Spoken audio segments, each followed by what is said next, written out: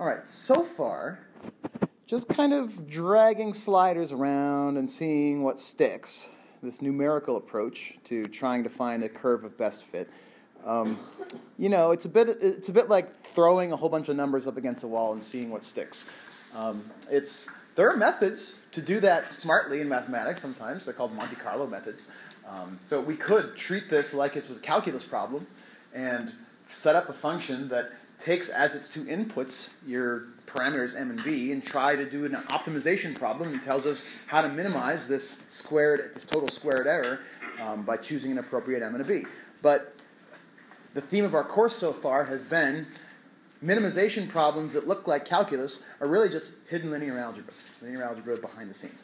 So what I want to do is look at, in my example, how to transform the question of which combination of the functions square root of x and 2 to the x gets me the closest to a function which passes through all three of these points. That's really the question that we're meant to answer. Which function, which is a combination, a linear combination of square root of x and 2 to the x, gets us the closest to a function which passes through all of these three points. So framing it in that way makes it sound an awful lot like a projection problem. So here's the kind of projection problem that it turns out to be. So our projection problems so far have taken the form of we choose a subspace, a linear subspace. We have some point which is not on that subspace, call it B or something like that. And then we have to find the closest element on our subspace to the point B. We call that element the projection of B onto S. so this is P of B, or something like that, right? And the motivating principle behind all of it is orthogonality, that the line joining B to that subspace should be perpendicular to that subspace. Well, rather than taking the high minded approach to this, I want to just get down into the weeds, into the nuts and bolts of what it would take to find some combination, some function y, which is equal to, I'm going to call it c1, a coefficient, times the square root of x, plus c2, some possibly different coefficient, times 2 to the x. I want to find which function that looks like this gets me the closest to passing through my three points. Now, my three points here happen to have different co- uh, coordinates than yours. I have 0, 1, 1, 1, and 2, 3. I changed mine just a little bit um, because I have a square root, and so my square root's never going to get me close to something which has a negative x value. How did I choose these two functions? I was sitting around in math services this morning and thinking, what sounds good? Um, that's all. Um, probably somebody who's doing this for practitioner purposes um, has a more particular goal in mind. Um, you might decide to choose the sine of x or sine of pi x or something like group 4 had because you expect that there's some sort of periodic behavior in your data that you're looking for. You might choose an exponential as team 3 had because you expect that your data is modeling some exponentially growing or decaying behavior, right? So there may be some practical purposes behind what uh, basis functions that we choose to do this process with. Um, but in my example, it was just a whim. And the power of this is it doesn't matter. The method doesn't care.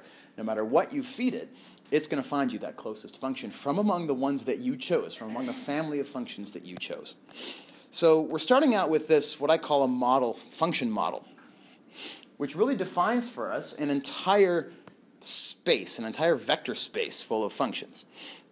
So this is an element of a vector space, which I'll call F, script F, which is just the set of all a times radical x plus b times 2 to the x, where a and b range over all real numbers.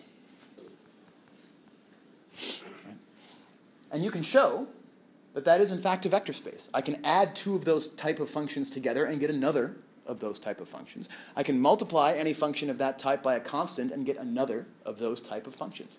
So this f, our functions that we're sort of using as our model, form a vector space.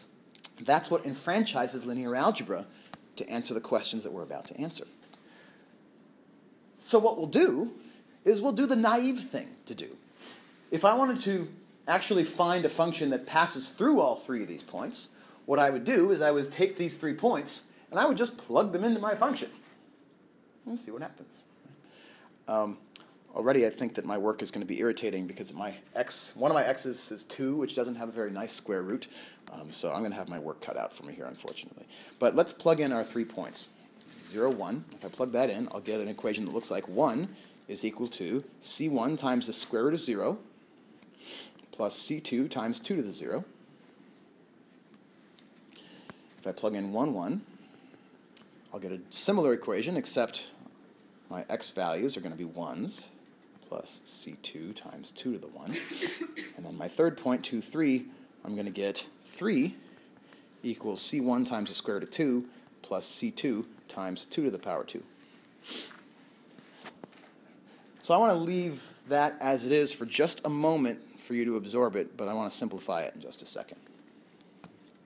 The goal here is to figure out what C1 and C2 are going to make all three of these equations simultaneously true. Let me take this moment now to simplify.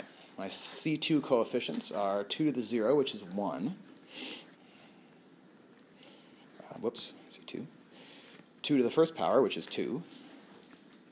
So 2C2 and 2 to the second power, which is 4, 4c2. Uh, my c1 coefficients are going to be square root of 0, which is 0. So my first equation just becomes 1 equals c2. Um, 1 times c1, and then the square root of 2 times c1. But what you notice is that I end up with a system of equations, three equations, but only two unknowns, C1 and C2.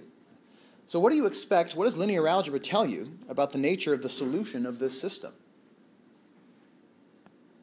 When we have one of these over-specified systems, what tends to happen? When we have two, yeah, when we have too many equations for our variables, our number of variables, to be able to satisfy, we're asking too much of poor C1 and C2. Chances are because we have too many equations, chances are this is not going to have a solution. It's going to be inconsistent. Right? Um, but we kind of expected that because if this were actually a consistent system, there would be one of my goofy functions that would exactly pass through all of these three points, which is actually a whole lot to ask of uh, this particular function um, because it's going to be very hard to make it go through 0, 1 um, unless, unless the square root of x, eh, I don't know, maybe it could.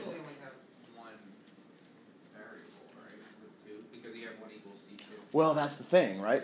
Um, if we were to try to solve the system exactly, we would be mandated to have C1, sorry, C2 equal to 1. And if C2 were equal to 1, then C1 plus 2 would have to equal 1. So C1 would have to be negative 1. So the first two set of equations would come out to have the solution C2 equals 1, C1 equals minus 1. But you'll notice that that pair definitely does not satisfy the third equation. So clearly this is an inconsistent system. We can't satisfy all three of these equations at once. So what do we do? We do the best that we can, right? Just like anywhere else so far in our course, we can do the best we can in solving, let me make this into a matrix equation here. Um, so our matrix is going to be, uh, let's see, what's my first column? 0, 1, square root of 2. My second column was 1, 2, 4. By the way, you'll notice that where these columns actually came from is that they were the evaluations of the function square root of x evaluated at my three x values, x equals 0, 1, and 2. That became my first column. Similarly, my second column is the other basic function, 2 to the x, evaluated, again, at the same points, x equals 0, 1, and 2. So we can see kind of where this matrix came from. It came from evaluating our basis functions at the x values of the points that are in our data, right? 0, 1, and 2 in, in my example. And then that matrix is multiplying my two coefficients. So I have this coefficient vector that I'm trying to solve for. And then over here, the right-hand side is 1, 1, 3. Well, what are those? Where did those numbers come from? Yeah, these are just our y coordinates of my data points.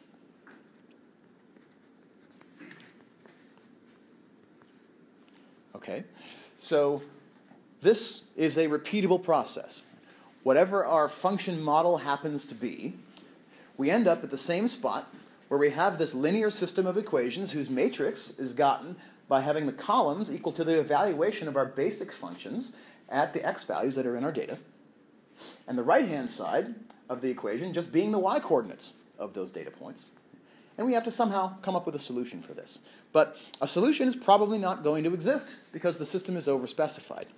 Um, today, we give no, uh, names to these various matrices. Call this matrix F. It's the evaluation of our functions at the various places. Call this vector here C, or a vector of coefficients that we're trying to solve for. And then this thing over here on the right we'll just call capital Y. Just giving them colorful names today um, because it ties them to where they actually came from. okay, so if I can't solve the system FC equals Y, what was the underhanded trick that we did on the first Math Material Monday of the semester? To try and turn something which has no solution into something which has a solution. What was the sleight of hand here?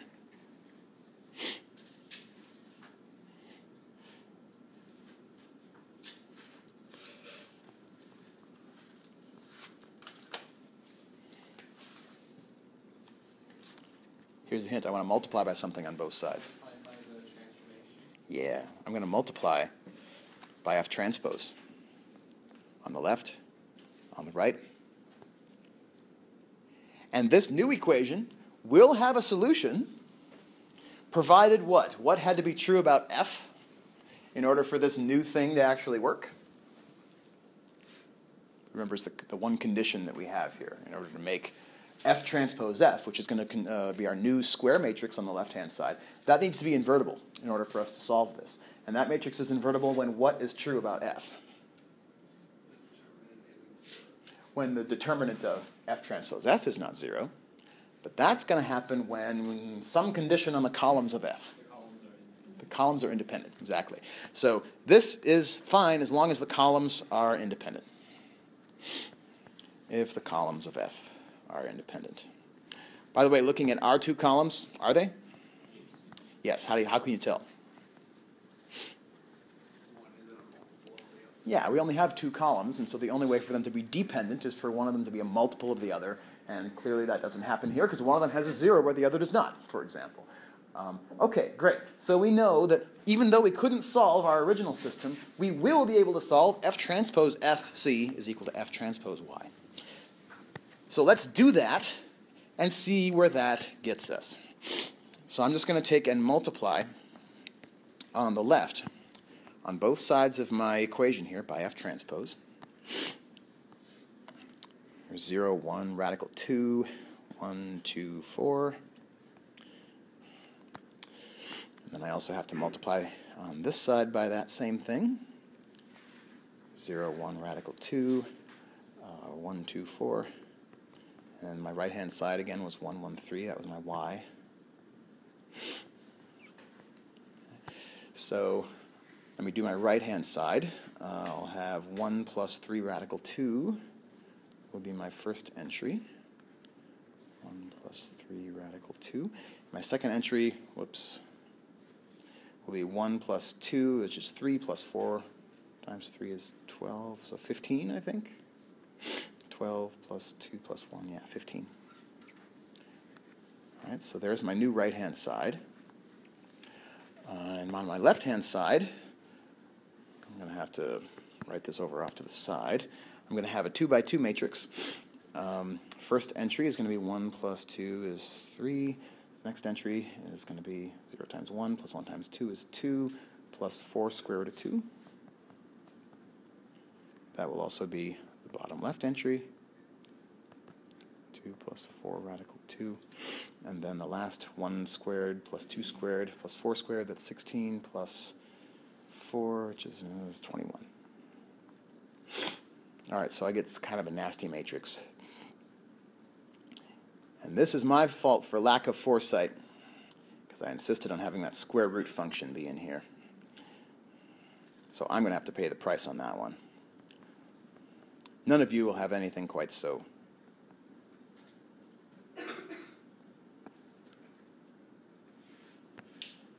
nasty. 3, 2 plus 4 radical 2, 2 plus 4 radical 2, 21. And then C1, C2. And you can check that that matrix, that purple matrix there, which is F transpose F, um, does not have a zero determinant, and therefore we can invert it, and we can solve for C1 and C2. So I'm just going to do that. This is going to look nasty.